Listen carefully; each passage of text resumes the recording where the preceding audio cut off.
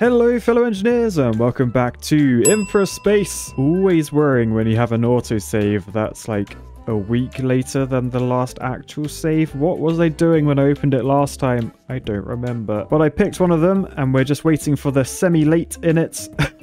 what are they? The late in it. Not semi-late, they're actually late. And then we're just updating roads. I have a lot of roads in my world, so we could be here a while. Okay, we could be here a really long time. Come on, come on. I didn't build that many roads I?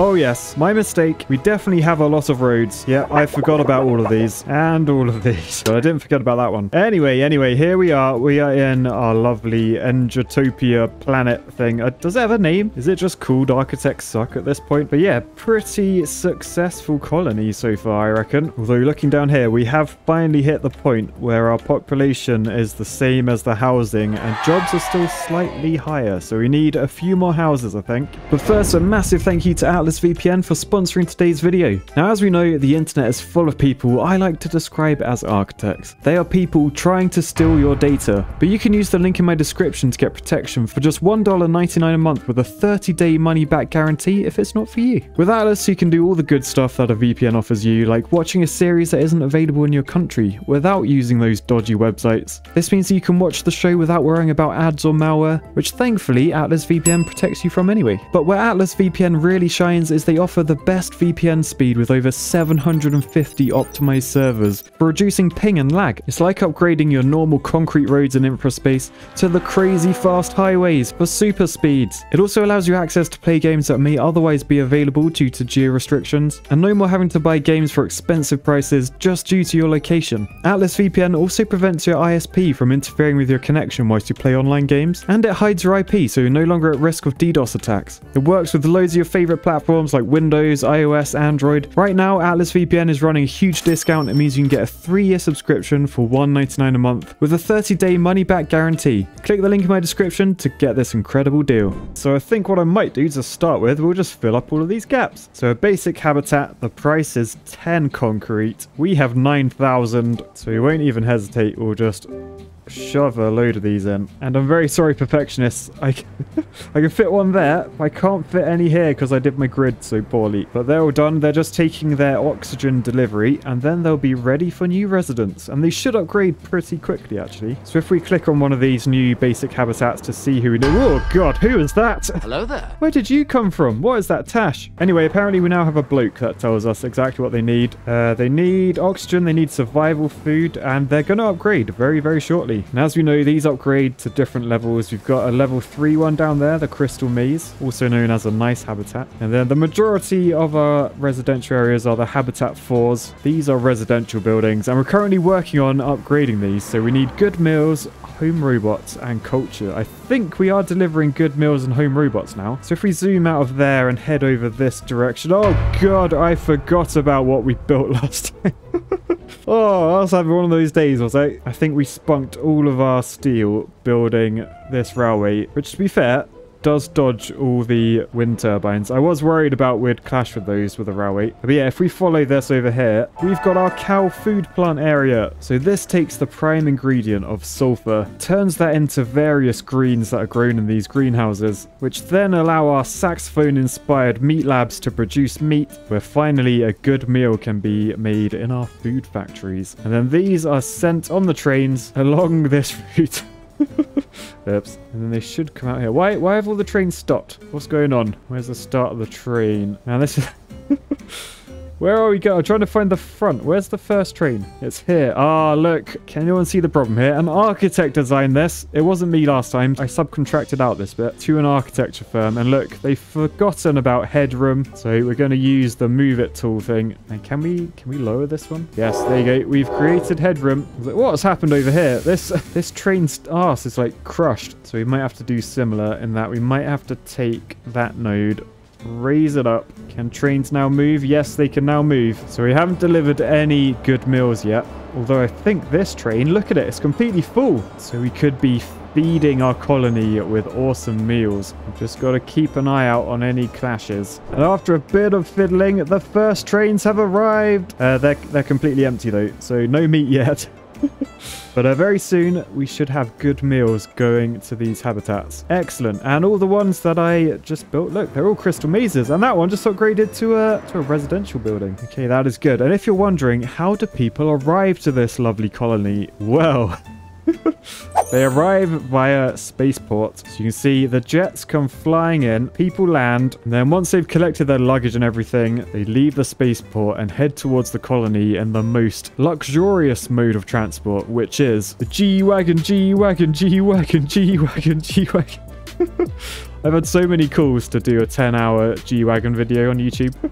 Can you imagine? Oh dear, I have too much fun. Oh, look at this, look! So jobs in the middle, 3,734. Population, 3,793. We've actually got more people than jobs for the first time ever in this series. Wow, wow. I'm impressed. Looking at these though, they need some carbon, which means we need to build a few more oxygen processors. So these hire three people, as you can see in the top right of that, and they turn nothing. They literally just exist to create oxygen and carbon, one every 16 seconds. So we'll plonk a few of these in here, and we'll realize they're outside the electricity area, damn it. So we'll plonk that there, and we just need to connect this with a power pole over to there. And now these have electricity, which means they're now producing oxygen and carbon. And oxygen will go over there, they will make sure our people can breathe, and the carbon should end up along this road into these incredible buildings, the nanotube factories, which allow us to then create the neural processor factories. And as we know, we struggled big time to get employees for those. We had to make a huge advertising board with testimonials on there. Uh, thankfully, it did the job. We are making those now, which means we should be researching something. As you can see, they are waiting on the neural processors. They've got two being delivered. They need four, though, to create a yellow science pack. So again, we are slacking, but just to create four of these every 90 seconds as well, it takes everything that's connected behind it. All of those buildings, all of those, all of those, all of those, all of these around here. So in order to make just another neural processor, like one every 90 second,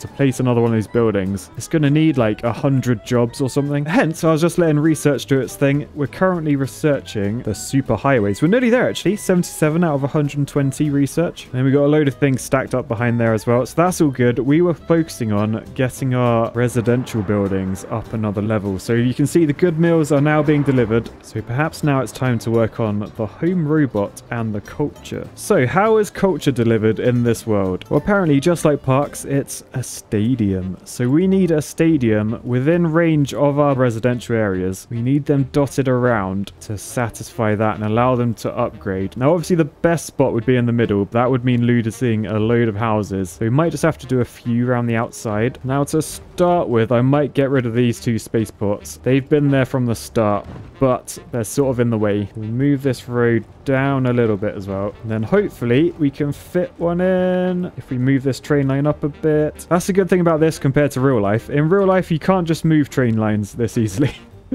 if you're trying to build something in real life and the train line's in the way, you're basically cocked. But in this, we can literally just go boosh. And just like that, all these people, they have culture. Look, they're turning green. Right, where else can we put a stadium? I don't know how I'm going to get these ones. I could put one there. That covers like half of them. Perhaps I could get one down there or even up here. Yeah, okay. Let's delete some of these roads. Let's get a stadium in there. All right, so that's everyone covered apart from these people. I think to do this, we're going to have to do a little bit of tweaking. I'm wondering if we can lift these roads over the top of it. Or maybe we could go down here. Maybe we could move all of these. So what I'm thinking, we extend the grid over to there, and then we just move a load of these, like well out the way up there. Right, if we then delete that road, can we then fit a stadium there? Oh no, they're so big. Why do they make stadiums so big? Right, what about like that? It's just a little bit too wide. Oh, that's nearly perfect. But nearly is not good enough. So after painstakingly moving all of these over very slightly, does a stadium now fit in there? If it doesn't, I'm going to be mad. Oh, it fits. It fits. We don't have enough steel, though. We need 300 steel. We've only got 146. Where's all of our steel? What did we spend it all on recently? Oh, yeah. Oh, yeah. Well, I stand by that decision. Anyway, we'll just neaten all of these up. Then we can press play again without losing any oxygen. And then we just wait for some steel and we'll build the stadium. And then we're nearly there. Look, they've got good meals. They've got culture. They just need home robots. So how do we go about building home robots? Well, this here is a home robot factory. It needs two electronics, one red thing. Oh no. Oh no. One blue thing and two silver snaily poo things. I think neural processors are the blue things. Yeah, they are. Oh, balls. So basically we're gonna have to create loads of neural processors that's annoying that's gonna take a long time oh dear matt although question looking at all of these electronics factory. They're all full up. They've got enough iron ore, they've got enough copper ore, and they come from these two roads, which are linked to these. And yeah, you can see all these mines, the outgoing storage is full, which means essentially we have too many mines for how many electronics factories we're making. So I think we could double this up to eight pretty easily. And basically what I'm thinking is we delete these roads, we bring them all around the back, and then we do a strip of electronics factories down here. So if we delete these roads, we then delete these. I want to I want to get this road straight. It's annoying me it's on a bend. Then we can build concrete road from like there all the way up to there. Use the faster roads to connect what we had back here, going around the backs of these, connecting in there. You doing the same. So they're all connected as they were. We just fill in this whole strip with electronics electronics factories. Realize we built it slightly too close to that road and get annoyed.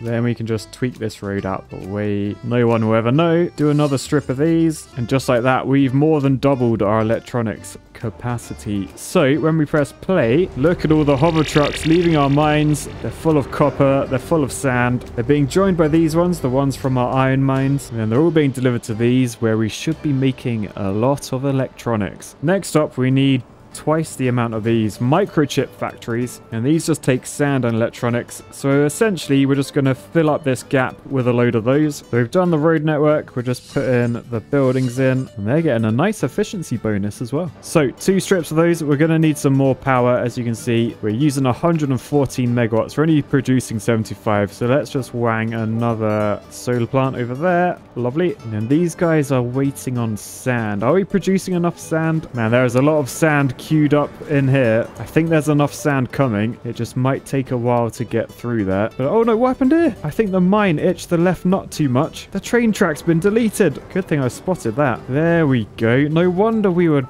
lacking on some things. Right, so that's all of those sorted. Next up are these things. What do they need again? Oh, just carbon and sand. So I think what we'll do, we'll just do another strip of nanotubes along the back. So identical to what we have, basically. So we'll come off there-ish, go along to there in a straight line, and then connect down to there. So we need six large sand mines. They can battle each other for the sand. And then it's just the really cool nanotube factories. Look at the efficiency of those as well. Oh no, they need loads of steel. 200 steel each. Well, that was a bit of an oversight. How do I make more steel? So these are our steel plants. They need carbon. Why aren't they getting carbon? They should get carbon via the train. I think what happened, where I cut that train line, where that testicle was completely cut in half, I think that paused all the trains. But they've all gone back to the start now, so they should all, as soon as they've made it through this maze...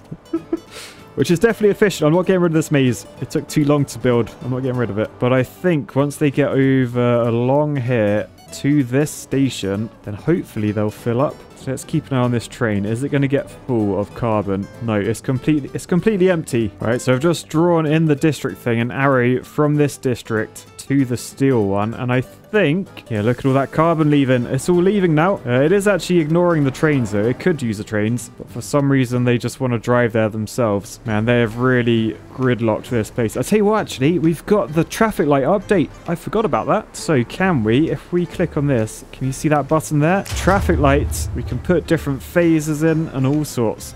Oh man, this is going to be awesome. So we might want to go through and just traffic light all of these junctions up. Maybe it's worth doing that with these huge junctions. Like, what is going on here? Like, look at that. Is that clear to anyone? If we traffic like that, look, you can see all the different... Oh, this is so cool. So I think this one, phase four, we definitely want that to last the longest. And the way people actually do this in real life, they do literally, like, monitor. They have people, like, out with stopwatches and stuff. And essentially, it's a double check that your computer modeling is right. Because essentially, you don't want, like, traffic in one arm arm, so this one, it's queuing up all the way down here. If it were to back up to here, then we know that the other arms are on for too long because there's too much traffic backing up. Uh, likewise, you can see it sort of happened here. This, this is completely filled up. So what if we drop all of these to like five seconds each? So they should all move a bit quicker, which hopefully means, look, as the traffic stacks up here, it starts backing up, but then by the time it goes green, the traffic didn't back up up to this junction. That's how you want it set up. This could take a lot of tweaking. I don't know if I want to get that involved. I, I do. I really, really do. But do you guys want to see that? Probably not. Let me know in the comments. But yeah, traffic modelers, a whole different breed of engineer. I didn't really dabble in any of that. I just took what they said and designed roads. But they sort of tell you like when you need to have two lanes, when you need three, like how many lanes want to go left and right, like all that sort of stuff. It's sort of a bit boring, to be honest. But uh, we take all the traffic modelers data and then we design a road to standard from it. Nice. Oh man, look in the stadium. We're in the stadium. I feel like those middle screens are a little bit too low.